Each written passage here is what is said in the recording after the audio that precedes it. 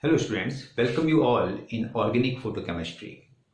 In my previous lecture, I described the energy transfer process in alkene molecule.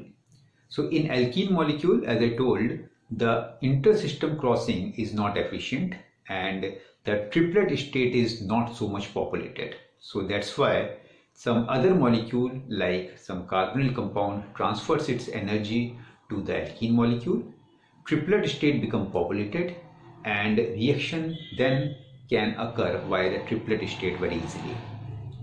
Now, so during energy transfer process, some uh, collision complexes are formed and such type of collision complex, these are called as the exciplex or excimers. So let us describe the exciplex and excimer formation during the energy transfer process. So exciplex and excimers.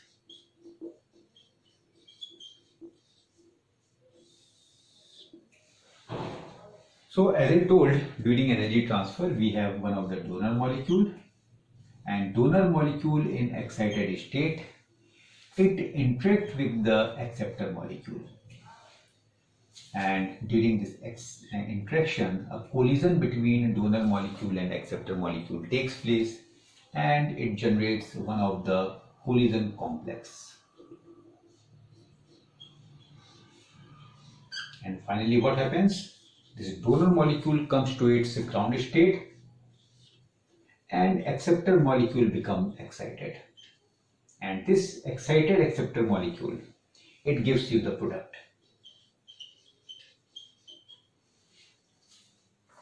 Now, so this is our collision complex.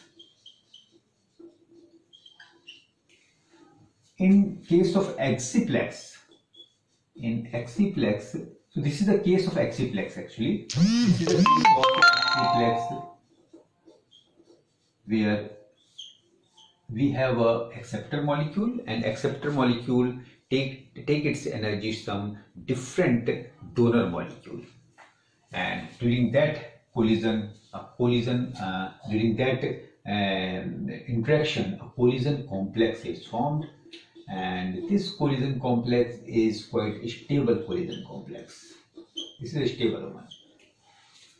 So how it is stable? And we can uh, we can uh, show its stability with the help of molecular orbital concept. So here, why this is stable? Because uh, net stabilization energy it's come to be negative. So in this case the net stabilization energy is negative. So a type of attraction between this excited donor and acceptor molecule takes place or we can say the uh, electron cloud of this donor molecule penetrate the electron cloud of acceptor molecule, a collision occurs and the net stabilization energy, as such one, uh, there is an attraction occur and net stabilization energy in this case is negative. Whereas when donor molecule and acceptor molecule, they are in underground state, here there is there is uh, no stabilization and here the net stabilization energy is zero.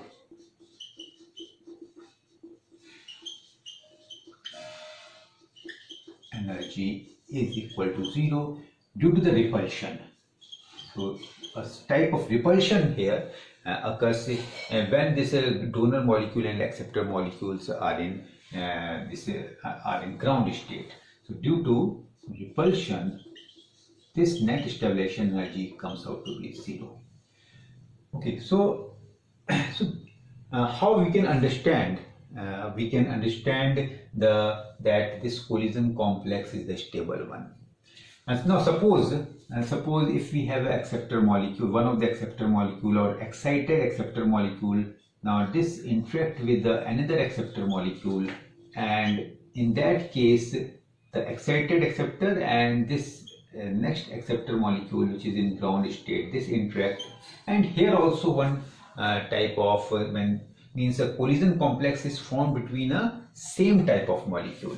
And this collision complex which is formed this is called as the excimers this is excimers now during excimer formation uh, dimers are formed. So dimers are formed during the excimers whereas we don't get a or we can say a monomer is formed or another type of uh, some rearranged product can be formed when we get a excimer uh, exciplex so now how we can uh, understand it with the help of molecular orbital concept suppose Suppose when this donor molecule and acceptor molecules are in ground state. So here suppose let's take case 1 when donor and acceptors are in ground state. Are in ground state or here the repulsion is taking place between two. That is repulsion is there between two between this is donor and acceptor. Now so how we can understand it? By the molecular orbital concept. So we are here understanding the molecular orbital concept for exciplex and excimer formation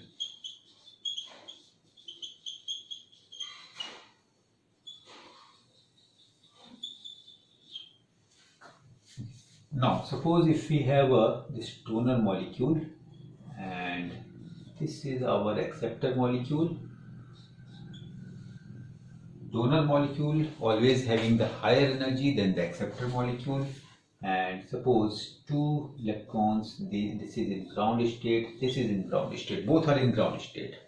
And according to this is now, these are in, that is bonding molecular orbitals when both are in ground state now if you see here, then the net stabilization energy, in this case, when molecule, when electrons are present in the bonding molecular orbital, then here the net stabilization energy is zero.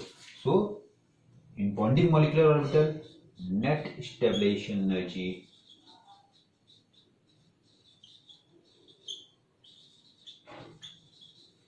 this is equal to 0. Now, anti-bonding molecular orbital, when one of the electrons here, because they are in ground state, then electrons remain in a bonding molecular orbital. Electrons remain in the bonding molecular orbital. So here, this is again donor, this is again acceptor. So total net stabilization energy that is equal to 0 two electrons because two electrons now I should I should fill the electron in the molecular orbital. These are the atomic orbitals and this these are the molecular orbitals. So four electrons are present in a uh, this uh, uh, atomic orbitals. Now I should fill this molecular orbitals. So total numbers of electron in atomic orbitals are four and according to the Hund's rule two electrons will come over here and next two electrons will come at this place so net stabilization energy, this comes out to be 0. Now, case 2, when when donor and acceptor molecule, when donor and acceptor molecule are in excited state or they forms a collision complex So this is the case when collision complex is not formed. This is the case when collision complex is formed.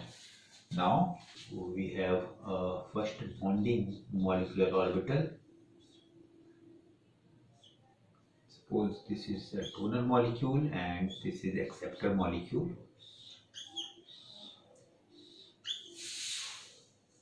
So this is excited donor. Now here only one electron will be present over here and two electrons here. Now anti-bonding molecular orbital when a collision complex is formed so in anti uh, during collision complex, one of the electron will go into the from donor molecule, one of the electron will go will get excited and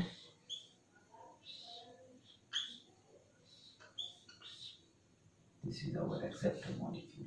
Now you should fill the electrons in the molecular orbitals. Total three electrons are present in the atomic orbital. Now two electrons over here and one electrons over here. Okay, and here only one electron is present in the excited donors. So if we fill the molecular orbital, then we should fill one of the electron over here. Now, so if we see the stabilization, so in bonding molecular orbital, there is a net stabilization of how many? Two electrons are present in bonding molecular orbital, one in anti-bonding. So the total stabilization in bonding molecular orbital is by one electron. So stabilization in bonding molecular orbital by one electron. Here also stabilization in anti-molecular orbital is by one electron. Stabilization in anti-bonding molecular orbital by one electron. So total stabilization if you see two one electron here stabilized here anti-bonding molecular orbital is stabilized by one electron. So total stabilization when a collision complex is formed is by two electrons that is